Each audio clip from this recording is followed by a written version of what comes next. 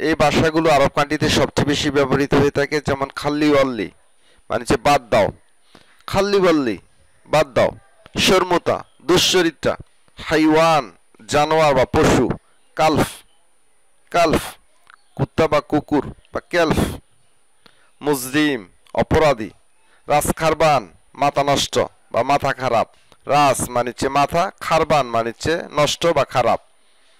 হুয়া তাবান সে ক্লান্ত বা দুর্বল হু মুশকিল ওয়াজিদ হুয়া মুশকিল ওয়াজিদ হু মুশকিল ওয়াজিদ সে সুবিধার না, বা? বা অনেক সমস্যার লোক।